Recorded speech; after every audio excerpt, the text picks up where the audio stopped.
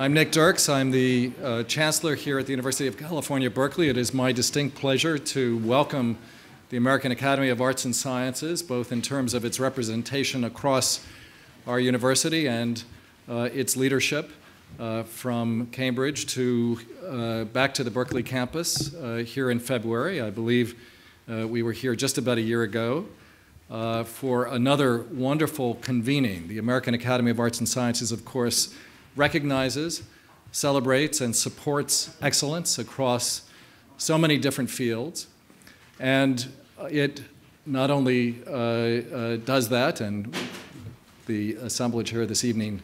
uh, testifies to that mission, uh, it also brings us together across different fields to talk about some of the most pressing issues of our day. Uh, last year, in the wake of the Black Lives Matter uh, Matters uh, uh, uh, incidents and, and, and discussions and, and, and crises of, of, of, the, of the fall, we listened to very interesting conversation across fields having to do with the law, with the police, with, with questions of regulation and accountability. And this year, we are going to be hearing from four scientists from different fields uh, who will be addressing uh, the larger question of consensus uh, and controversy around science, but in the context of what I understand to be uh, an ongoing uh, effort on the part of the American Academy of Arts and Sciences to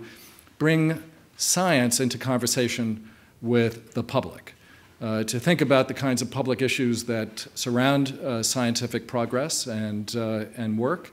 uh, and in particular to engage uh, both scientists and, and those of us who are not necessarily scientists with the larger question around how the work that's being done is received, how it's understood, how it's engaged, and indeed how it raises questions that are critical for our times in all kinds of ways. Uh, two of the panelists tonight were with me in, in, on the Magic Mountain just a little more than a week ago uh, uh, on panels uh, ranging from uh, the future of, uh, of, of, of, dealing with cancer and, and, and curing disease to questions having to do with what it means to be human, to be human at a time of rapidly changing technological progress. Uh, but also, of course, uh, not just how to stay human, but how to keep our society human when many of the kinds of advances that we see in the realm of technology uh, raise other questions around uh, employment, around uh, equality and inequality, around our social compacts that uh, heretofore have been based on very different kinds of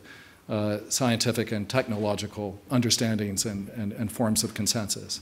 So again tonight we will be treated uh, to, uh, to the work of some of our most uh, distinguished scientists here at Berkeley and from uh, our sister campus in Davis.